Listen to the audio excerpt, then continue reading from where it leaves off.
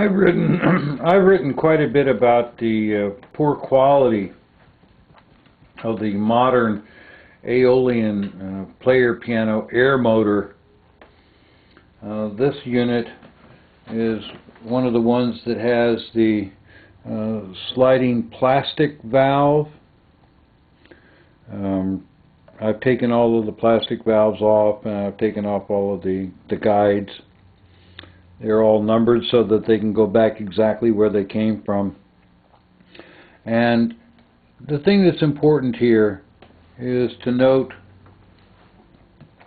all of these voids here, here, here, here, here, here, here, here, here, down here, down here, somewhat down here. What you see here in these spaces is where the sliding valve has been rubbing as it goes up and down. It rubs, and because of the fact that the plastic is uh, actually got is made of uh, is made of oil, um, it leaves a a shadow mark every place where it's rubbed. As a matter of fact, when you feel this with your finger, you can actually feel a small amount of drag here as compared to right here. Right here it's nice and slippery. And right here it's actually got kind of a drag feel to it, uh, almost almost a slight sticky feeling. Okay. That's because they don't have an adequate amount of graphite on the motor, uh, which would help which would help prevent this stickiness. Although that's not the problem. Uh, this motor was sent to me because it's leaking.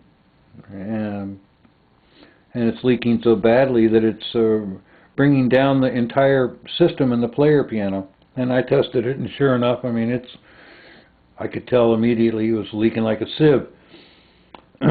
so I took it apart, and the first thing I noticed is that there are all these voids.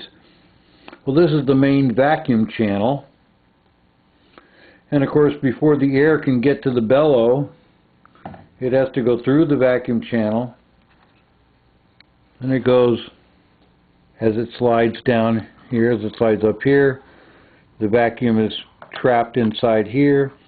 And then when it slides down to here, the, the vacuum transfers from here to here via this cutout right there.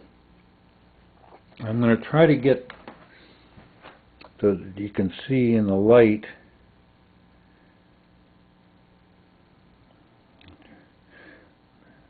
you might be able to see down here this shiny part right here and we'll see if we can get up here you can see the shiny part up here shiny part over here shiny part over here and what we're looking for on this, to find out if it's flat, is that there is a, a dull area all the way around. And that indicates that this surface is flat.